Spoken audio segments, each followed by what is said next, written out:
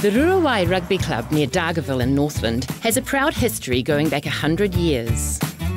The annual Junior Challenge against Beecroft Club in Sydney is a huge event for both clubs.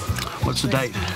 Um, 7th of July? We're all going on a farm tour later, so while the dads finish their breakfasts, I'm going to do some cooking. Here you go, my darling boys. I think the kids will like some kumara topped pies made with mushrooms. Really like old fashioned field mushrooms, aren't they? Fabulous. They're wonderful because they don't have quite so much moisture in them and they hold their shape when they're cooked so they're really good to use for lots of different purposes. So I'm going to get these frying. I'm going to get you to mash the beautiful kumara. So I've already cooked it. And you know, my really good tip is once you've drained them and cooked them, you put you leave them over the heat for a little while, give them a good shake, and it drives off all the moisture. And Okay. you don't get as many lumps and you get a much more creamy mash. And we also add butter and hot milk. Cold milk affects the starch, the coldness can make it really gluey. And the hot milk avoids that. I just need to put these mushrooms to one side. And actually I'll get you to season that. Lots of salt and pepper I find. I'm going to cook the lamb with this very lean mince. Top quality meat, and it just is delivered to your door and buy it online. And I have another good tip, and you can see, because this is such good quality, it's so meaty, it's not breaking up very well, but if you use a masher, it will really break it up quickly and easily. Okay, so we just need to brown this off. So of course you could use beef mince instead of lamb mince. It's a really economical meal, this. It's great. So we're going to put the mushrooms back in here. I'm going to use some Lee Kum Kee oyster sauce. Now, this is an amazing seasoning. It's really a little bit spicy, very, very savoury flavoured. And we think of it as going well in stir fries and things like that. But it's fantastic in European style dishes as well, like this one. So, um, Julie, is it like a thickener as well? Well, yeah, it is a lovely consistency, so it will help to thicken it, a bit like a gravy. And it's actually such an interesting story. Um, Mr. Lee created this totally by accident. Apparently, 124 years ago, he owned a eatery and he used to cook a lot of seafood, and he was making oyster soup. He kind of walked away and left it, as you do. Yes. And he came back and he thought it was ruined. It was this dark brown colour. Tasted it, and it tasted fantastic. He bottled it, and it's oyster sauce. Meant to be, eh? Such a good story. I'll just get you to pass me the spring onions Yes. and parsley.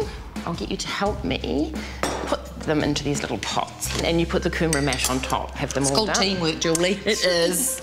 Didn't take long to make, actually, did it? No, Got a sure doesn't. And I will put grated Colby cheese on top.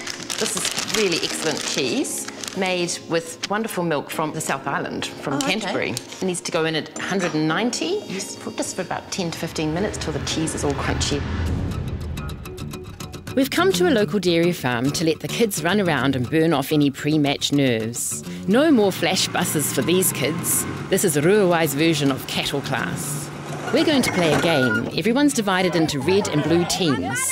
The idea is to capture each other's mascot, a special gumboot. Your objective is to go and steal the blue boot and get that back to your base. When you capture some of the opposition, you can pull their band off. Three, two, one, go! The blue team is straight up the hill in search of the reds. Slow mo.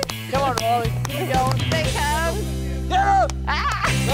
The Reds are straight back at them. If this is what the rugby tournament is going to be like, it's going to be a heck of a clash. Water bombs make things interesting. I got wet by one of the water balloons. After some great tackles, the Blues break through. One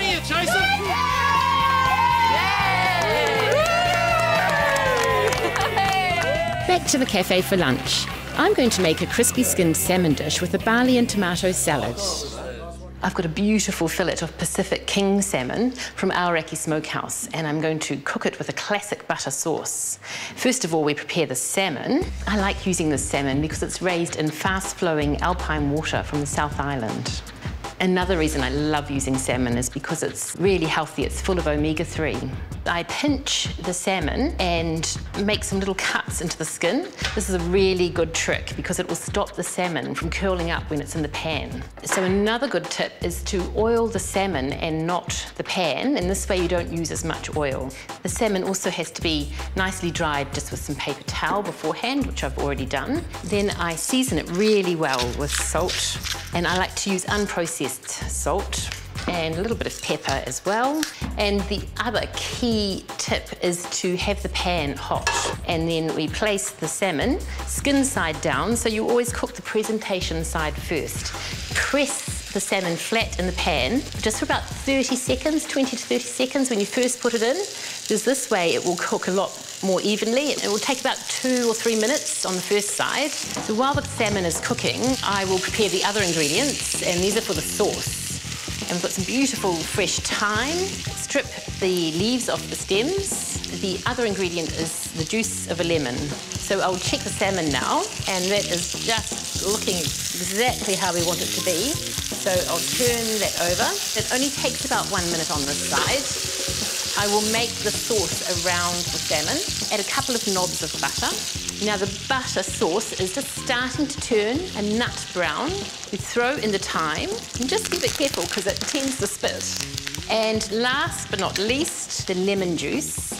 Come straight out of the pan and onto a serving plate.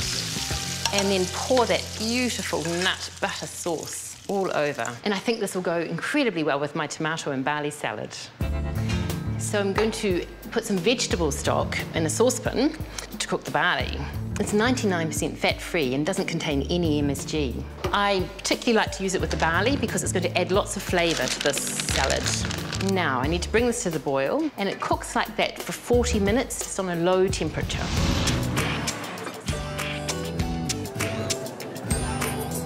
Barley's all beautifully plumped up and all the liquid's been absorbed. While that's cooling, I'm going to make the dressing. There's going to be tomatoes in the salad, but I'm also going to put some tomatoes into the dressing. I'm using these beautiful angel tomatoes, and they're a wonderful sort of oval egg shape. It's got a great amount of juice, so they're perfect for a salad. I'm going to add about half a punnet, and now I'm going to add some manuka honey and cider vinegar. This is a great New Zealand-made artisan vinegar. Fabulous golden colour and a beautiful aroma. All good dressings need a good amount of salt and pepper, and I like to use organic pepper. And of course, some extra virgin olive oil. So now we just need to whiz it up. So really, I'm just breaking up those tomatoes. It's a lovely, chunky kind of texture. And then I pour that into the barley. So now I'm adding the rest of the tomatoes. I'm going to add some chopped parsley. And then lastly, some toasted almonds. Toss it really well so that all the dressing coats all the other ingredients. I wonder how the Aussie dads will like my New Zealand salmon dish. Tastes all right. Good, mate. Just as good as back home? Better.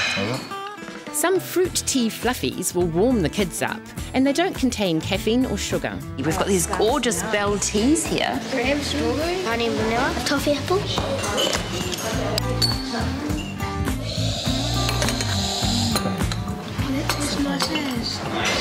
And here come the lamb pies. Very welcome. Never tasted something like this before. It's really yummy. Yeah.